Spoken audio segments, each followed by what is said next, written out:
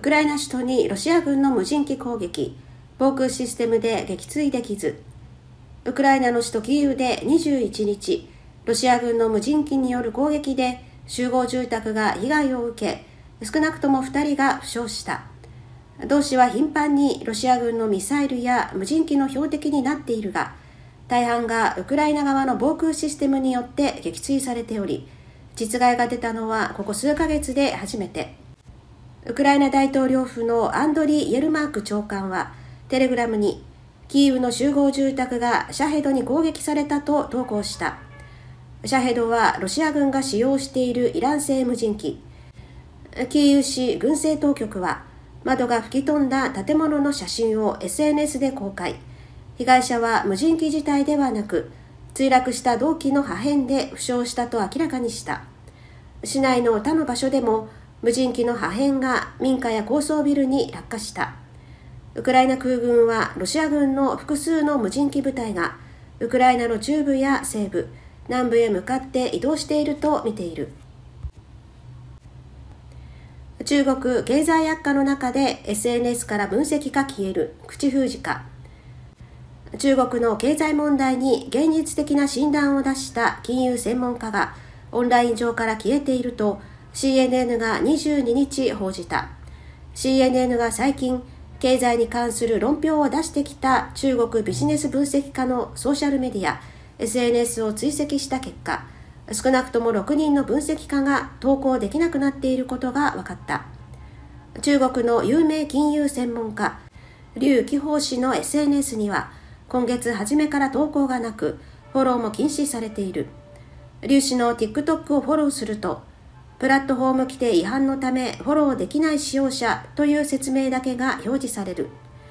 劉氏は1日中国資本市場の弊害を批判し自国の株式市場に対する投資を引き止めるコメントを載せた。この他にも投資分析家、資本市場を教える大学教授、投資会社の代表も SNS 規制に直面した状況だと CNN は明らかにした。特にこうした SNS 口封じが集中したのは、11日から12日に習近平国家主席が開いた中央経済工作会議で経済宣伝と世論指導を強化して中国経済巧妙論を謳うべきという方針が出てきてからだ。その後、中国国家安全省は中国経済を否定的に話す陳腐な各種論調が絶えず出ているが、その本質は虚偽の女児で、中国衰退の断論を作り、認知的な罠に陥れようとする無駄な試みだと強く批判した。米ワシントンのシンクタンクジェームズタウン財団のウィリー・ラム研究員は、中国政府は経済会議論が拡大して消費心理がさらに悪化することを懸念していると説明した。中国は新型コロナの大流行以降、景気回復に力を注いだが、不動産市場の賃貸、地方政務の負債問題などが解決せず、成果を出せずにいる。今年は上海総合指数が5.7%下落した。ただ、世論統制がむしろ中国経済の正確な状況の把握を難しくするという指摘が出ている。これに先立ち中国政府は8月、青年失業率が3ヶ月連続で過去最高を更新すると、統計の発表自体を中断した。こうした情報の不透明性が投資などを難しくし、経済にさらに負担を与えていると CNN は伝えた。ウクライナの M2 歩兵戦闘車、地下に隠れたロシア兵を踏み潰す。ロシア軍の人員訓練能力に過剰な負担をかけ、不十分な訓練による死傷者の増加という負のスパイラルを引き起こしてロシア軍を消耗させていくには、ウクライナ軍は2024年、ロシア軍に10万人の死者、または重症者を出させる必要があるとエストニア国防省は最近分析している。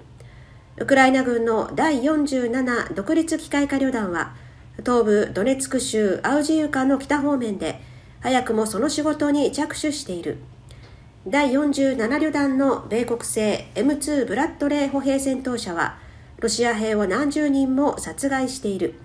発射速度の速い25ミリ機関砲でロシア兵を吹き飛ばしたり、地下の隠れ家に慌てて逃げ込んだロシア兵を28トンの巨体で押しつぶしたりもしている。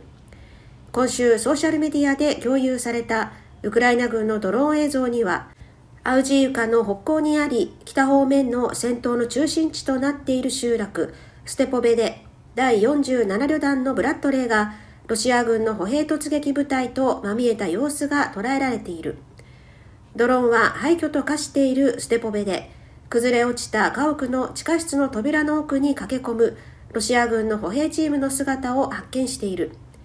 ドローンの操縦士はブラッドレー側に特徴的な緑色のその扉の方へ向かうよう指示する。3人乗りのブラッドレーは地下室の上まで突き進んでいき、その車体で入り口をぺしゃんこにする。ブラッドレーはバックギアで交代していき、数発射撃し、発煙弾を放った後、向きを変えて、ウクライナ側の陣地へ戻っていく。これはアウジユカ周辺に攻め込んでくるロシア軍に対するウクライナ軍の新たな戦い方である。目新しくはあるが効果的だ。戦闘車両での歩兵の粉砕というのは、ロシア軍の作戦が3ヶ月目に入る中、アウジユカ攻防戦の無慈悲さと、ロシア側に偏って大きな損害が出ている現状も物語る。ロシア軍は10月10日、アウジユカに対する攻撃を開始した。疲弊した第110独立機械化旅団を含むウクライナ軍守備隊を包囲し、補給路を断ち、軍需品などを欠乏させるのが目標だ。攻撃はロシア軍が計12個前後の連隊や旅団を投入した最初の1ヶ月が最も強力だった。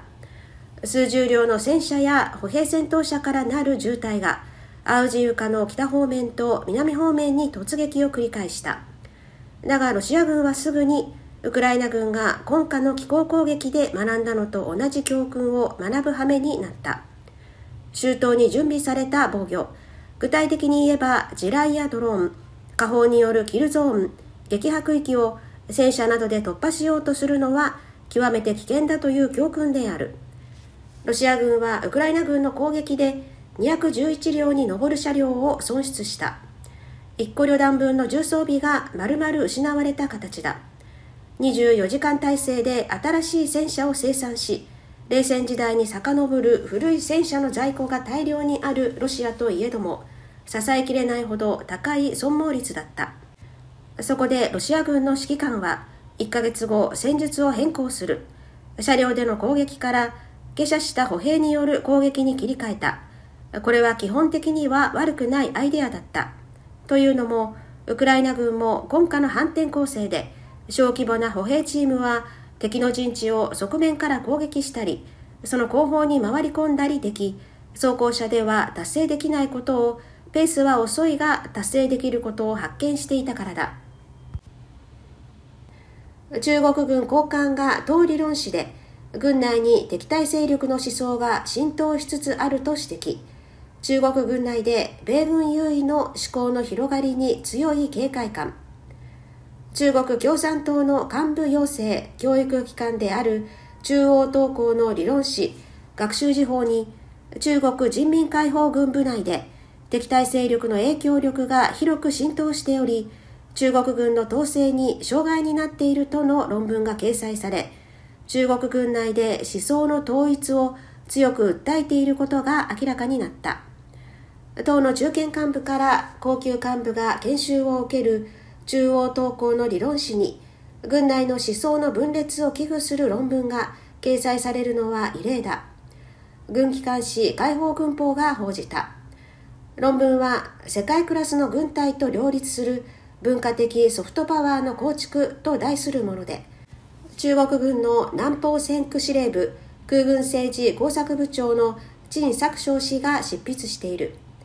この中では人民解放軍が直面している。イデオロギー的リスクを概説しており、